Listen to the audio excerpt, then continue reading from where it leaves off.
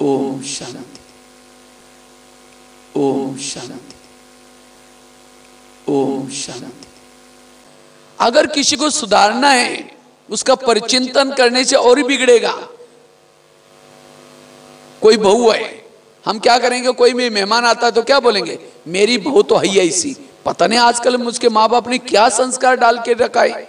खाना बनाने की भी अक्ल नहीं। अब वो रोज ऐसी बातें सुनेंगे तो उसको क्या लगेगा?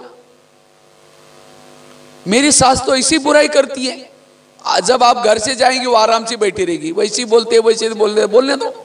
तो आपका कम, काम कम हुआ या ज़्यादा हुआ? और ही कम हो गया।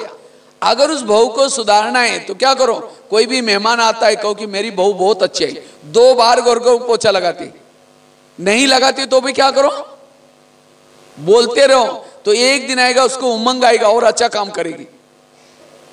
बाबा का मुरली का पहला महावाक्य होता है? क्या? मीठे बच्चे हम मीठे हैं? तो भी बाबा क्या बोलता है? मीठे मीठे बोल करके बाबा ने मीठा बनाया। इसी तरह, अगर किसी को सुधारना है, उसकी महिमा करो। कोई सेवा करके आया, कहेंगे, क्या तुमको अकल नहीं? ऐसी सेवा करते हैं। बेचारा धूप में गया, इतना टाइम निकाल करके गया। अगर उसको ऐसा कहेंगे, दोबारा कहीं कहेंगे कहेंगे, मुझे टाइम ही नहीं है। किसी के उमंग बढ़ाओ किसी के दोष नहीं देखो।